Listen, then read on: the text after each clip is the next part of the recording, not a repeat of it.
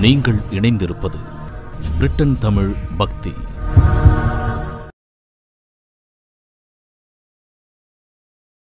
அழைத்து வருகிறேன் என்றேனோ? அக்ரூரரைப் போலே.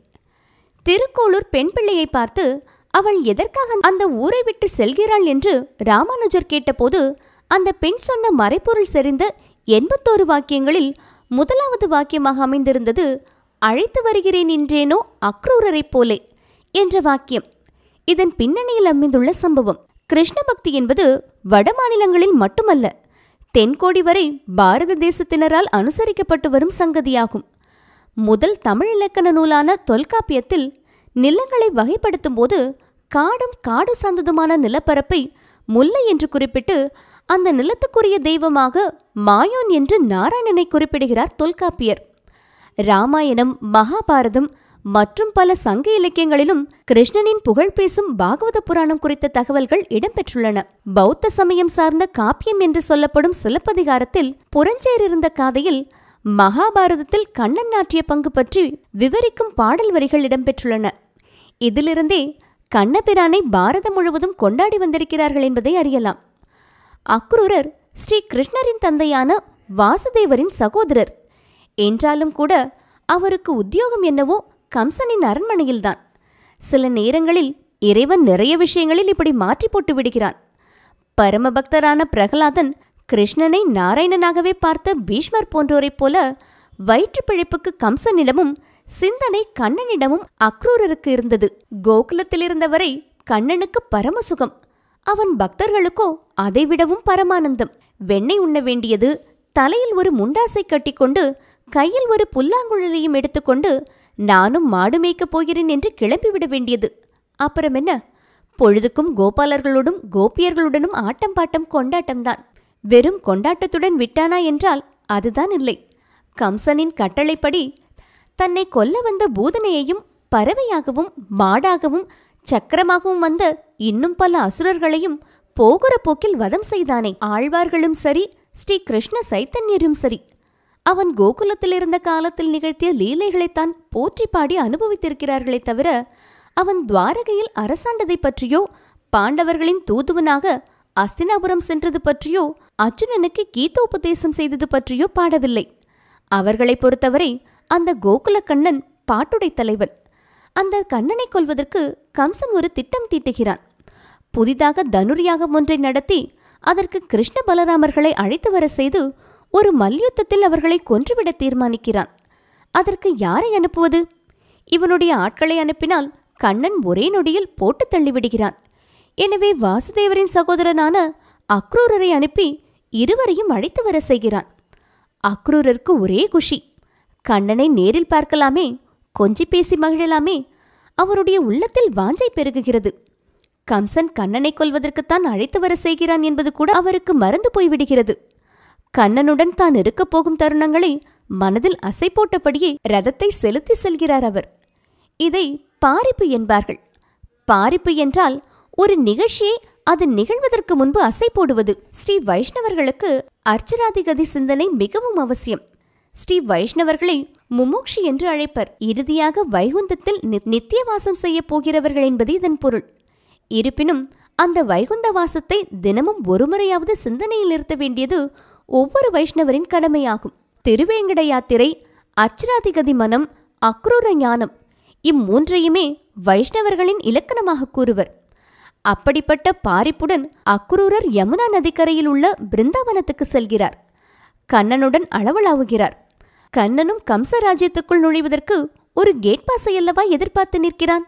எனவே மறுபேதும் தெரிவிக்காமல் பலராமனுடன் கம்சனை காண செல்கிறான். பிறகு அவன் கம்சனை கொன்றது சரித்திரம். நந்தகோன் என்ற இடத்திலிருந்து கண்ணனை அக்ரூரர் தேரில் அழைத்து சென்ற வழித்தடம் உள்ளது. அப்படிப்பட்ட அக்ரூரரைப் போல கண்ணனை அழைத்து வருவதற்கு போனவளா நான் என்று கேட்கிறாள் அந்த பெண் பிள்ளை. அகமொழிந்து விட்டேனோ விதுரரைப் போலே. மகாபாரத மாந்தங்களில் கண்ணனால் மிகவும் போற்றப்பட்டவர் விதுரர். மகாபாரத கதை தெரிந்தவர்களுக்கு விதுரர் கதையும் நிச்சயமாக தெரிந்திருக்கும். சத்தியவதியின் மகன் விசித்திர வீரியன் அற்பாயுள் படைத்தவன். சந்தான பாக்கியம் பெறுவதற்கு முன்பாகவே அவன் மாண்டுவிட அம்பிகா அம்பாலிகா இருவருக்கும் குழந்தை பேறு கிடைக்க வியாசரின் துணையை சத்தியவதி நாடினாள். அதன்படி வியாசர் அம்பிகாவிடம் சென்றபோது அவள் வெட்கப்பட்டு தனது தாசியான தோழியை உள்ளே அனுப்பிவிட அந்த தாசிக்கு பிறந்தவரே விதுரர். அவருடைய வாழ்நாள் முழுவதும் தாசி மகன் என்ற இழிப்பெயர் நிழலைப் போல உடன் வருகிறது. ஆனால் விதுரர் மட்டும்தான் துரியோதனன் முறை தவறி சூதாடுவதற்கு தருமனை அழைக்கும்போது தடுக்கிறார். அரக்கு மாளிகையில் துரியோதனாதிகள் பாண்டவர்களை கொல்ல நினைக்கும் போது அந்தன வேடத்தில் அவர்களை வேறு ஊருக்கு போகச் செய்து காப்பாற்றுகிறார். நீதி தவறாதவர். திருதராஷ்டனுக்கு அவ்வப்போது அறிவுரைகள் வழங்கி வந்தவர். கண்ணன் வெறும் மன்னன் இல்லை. அந்த ஜெகநாதனே அவன் என்பதை விதுரர் அறிவார். விதுரரை பற்றி பிரபலமாக சொல்லப்படும் கதை இது. பாண்டவர்களின் தூதுவனாக துவாரகையிலிருந்து தனது தேரில் அஸ்தினாபுரம் வருகிறான் கண்ணன். மறுநாள் சபை கூடும்போதுதான் தூது பேச்சை ஆரம்பிக்க வேண்டும். முதல் நாள் இரவு அவன் அங்கேயே தங்க வேண்டும். ஒவ்வொருவருக்கும் அவன் தன் மாளிகையில் தங்க மாட்டானா என்று ஆசை. கண்ணன் வழியிலுள்ள ஒவ்வொரு மாளிகையாக பார்த்து கொண்டே வருகிறான். கண்ணில் தென்பட்ட ஒரு பெரிய மாளிகையை பார்த்து ஆஹா இவ்வளவு பெரிதாக இருக்கிறதே இது யாருடைய மாளிகை? என்று கேட்கிறான். உடனே திருதராஷ்டிரன் கண்ணா இது என் மாளிகை. இங்கேயே தங்கிக்கொள் என்கிறார். கண்ணன் வேண்டாம் என்று மறுக்கிறான். அடுத்த ஒரு மாளிகையை பார்த்து அட இது முந்தைய மாளிகையை விட பெரிதாக இருக்கிறதே. இது யாருடைய மாளிகை? என்கிறான். குருவம்ச பிதாமகர் பீஷ்மர் முன்வந்து கண்ணா இது என் மாளிகைத்தான் நீ இங்கேயே வசதியாக தங்கிக் கொள்ளலாம் என்கிறார். அதையும் மறுத்துவிட்டு அடுத்த மாளிகையை பார்வையிடும் கண்ணன் அதனுள் இருந்து சங்கீத சப்தமும் நடன மாதுக்களின் நாட்டிய ஒலியும் ஒலிப்பதைக் கேட்டு இது யாருடைய மாளிகை? என்று கேட்கிறான். கண்ணா நீ இதில் தங்கினால் கேளிக்கைகளுக்கு குறைவிருக்காது என்ற துரியோதனன் இந்த உல்லாச மாளிகை என்னுடையது என்கிறான். கண்ணன் ஒரு பார்வை சுழிப்பால் அதையும் நிராகரிக்கிறான். இறுதியாக கண்ணன் ஒரு குடிலின் முன்பு நிற்கிறான். சின்ன குடில். ஆனால் அதன் அமைப்பும் தொன்மையும் தெய்வீகமாக இருந்தன. மனதுக்கு சாந்தியை ஏற்படுத்தும் இந்த மாளிகை யாருடையது? என்று கேட்கிறான் கண்ணன். அவனுக்கு பெரிய மாளிகையும் ஒன்றுதான் சிறிய குடிலும் ஒன்றுதான். அகம் சுத்தமாக இருக்க வேண்டும் அவ்வளவுதான். விதுரர் சொன்ன பதில் அவரை மற்றவர்களிடமிருந்து உயர்த்தி காட்டுகிறது. கண்ணா இது உன் திருமாளிகைத்தான். இங்கே நீ உன் இஷ்டம் போல தங்கிக் கொள்ளலாம் என்கிறார். கண்ணன் சிரிக்கிறான். இதுவரை நான் அடியார்களின் மனதையன்றோ குடிலாக கொண்டிருக்கிறேன் என்றான். அதற்கு விதுரர் கண்ணா இது அதேதான். என் அகம்தான் இந்த அகம். என் அகத்திற்குள் ஏற்கனவே நீதான் இருக்கிறாய். எனவே இந்த அகத்திற்குள் குடியேற உனக்கு என்ன வேண்டும் என்று கேட்கிறார். உலக வழக்கப்படி வாடகைக்கு குடியிருப்பவர்தான் வாடகை அட்வான்ஸ் எல்லாம் கொடுக்க வேண்டும். ஆனால் இதயம் என்ற வீட்டுக்குள் பகவானை குடிவைக்க வீட்டுக்கு சொந்தக்காரன்தான் வாடகை அட்வான்ஸ் எல்லாம் கொடுக்க வேண்டும். குடியேறுபவனும் அடாவடி பேர் வழி கிடையாது.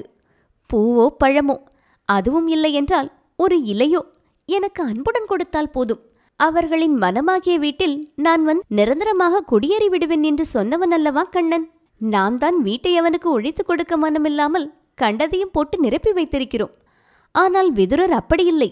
உன் அகம்தான் என் அகம் என்றார். அகம் என்றால் தமிழில் வீடு என்று பொருள். அகம் என்றால் வடமொழியில் அகங்காரம் என்று அர்த்தம். அந்த அகம் ஒழியும் போது உள்ளே இருக்கும் அகம் அந்த பகவான் குடியிருக்கும் திருமாளிகையாகத்தானே இருக்கும். அப்படி அகமொழிந்து விட்டேனோ? விதுரரைப் போலே. இல்லையல்லவா? எனவே நான் வெளியில் செல்கிறேன் என்கிறாள் அந்த பெண் பிள்ளை. மேலும் இதுபோன்ற நிகழ்வுகளுக்கு இணைந்திருங்கள். பிரிட்டன் தமிழ் பக்தி.